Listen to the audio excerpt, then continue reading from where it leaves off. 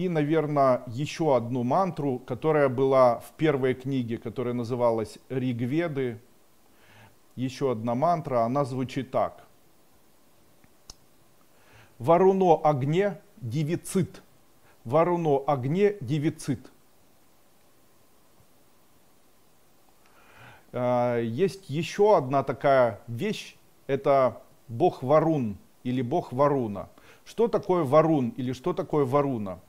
Смотрите, события могут быть хорошими, но даже в хороших событиях нужно, чтобы кто-то человека защищал.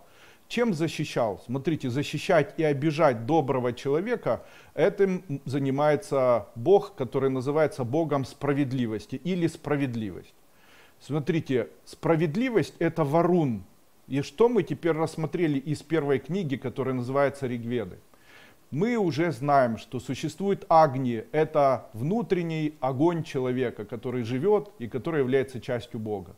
Существует Савитур, это события жизни, которые могут быть плохими и хорошими. И существует справедливость.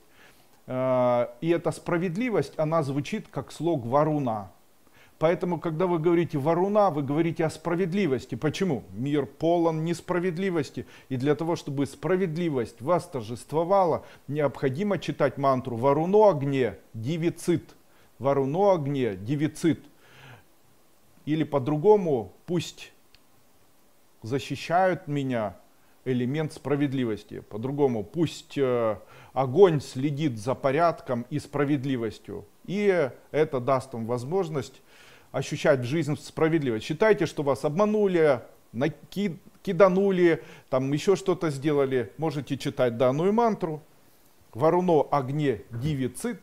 Это мантра из Ригведы, десятая, которую я сегодня бы хотел дать.